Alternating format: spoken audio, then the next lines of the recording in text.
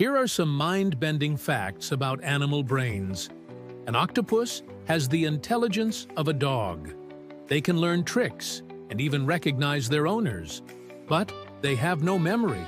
So even if you teach them something, they won't remember it for more than a few minutes. A group of researchers at MIT have developed a robotic rat that can literally be controlled with a human brain.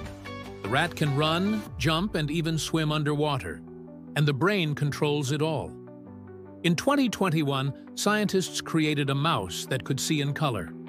They inserted a gene into the mouse's DNA that allowed them to see red and green. Before this, mice could only see in black and white. Some animals can actually regenerate their brains.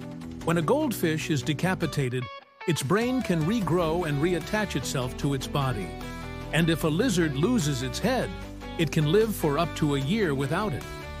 There's an animal that can sleep while standing up. It's called a kangaroo rat.